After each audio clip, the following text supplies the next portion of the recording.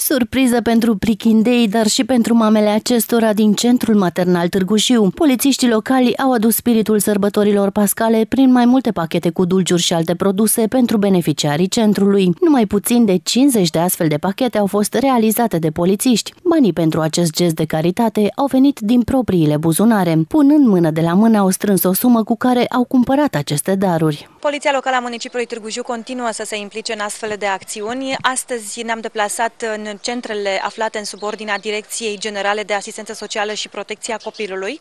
Am adus 50 de pachete cu dulciuri copiilor și mamelor de aici. De exemplu, ne aflăm în centrul maternal, am adus câteva pachete aici, copiii le-au primit cu, cu bucurie, la fel și mamele și promitem să ne implicăm și pe viitor în astfel de acțiuni. Am vrut să le aducem un zâmbet pe, pe chipul lor, uh, mai ales că ne aflăm în săptămâna mare și uh, trebuie să simtă uh, că vin sărbătorile, că vine Paștele.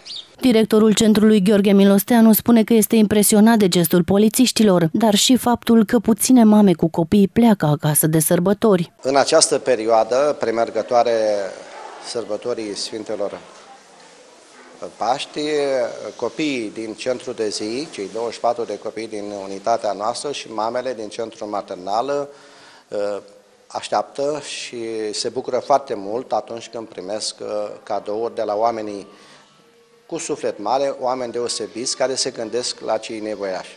În centrul maternal din Târgu Jiu sunt 8 mame și 8 prichindei, iar în centrul de zi 24 de copii. Multe mămiși cu copii rămân în centru de sărbători neavând unde să meargă și ei vor merge la biserică și vor avea parte și de un meniu special de Paște.